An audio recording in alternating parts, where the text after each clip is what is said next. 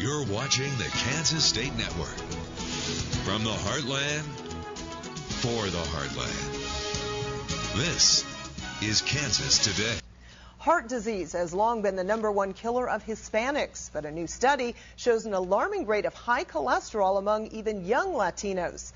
Researchers hope these numbers will finally motivate people to get moving. It took two heart attacks in eight years to convince Manny Mendoza to start exercising. Like many Hispanics, his family has a history of heart disease. I had a cousin who was uh, in his 30s and he died of a massive heart attack. It just came up and hit him with no uh, apparent uh, warning signs. In fact, of the 122,000 Hispanic deaths each year in the U.S., nearly 29% or 35,000 are caused by heart disease, the number one killer. Yet those grim statistics may only get worse based on a recent study. The National Alliance for Hispanic Health screened 3,000 Hispanics in four major cities. 39% of them, that's over one third, had high levels or borderline levels of cholesterol and did not know it.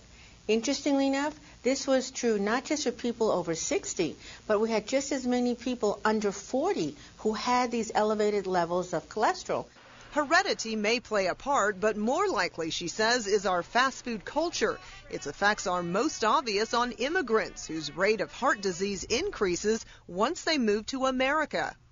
It's a problem that as we adopt more of the mainstream U.S. lifestyle, which, as you know, is more sedentary, eating less healthy meals, eating fewer fruits and vegetables, as we adopt those habits, our health starts to deteriorate. Dr. Delgado hopes this latest research scares people into action, increasing exercise, cutting fatty foods, and kicking tobacco. I still think about the future. It's a little uh, scary. Scary enough to keep Manny on the road to better health. If you need help getting started on an exercise program, the National Alliance for Hispanic Health is giving away free elastic bands and instructions for a simple workout. You can call their helpline to get one, 866-783-2645.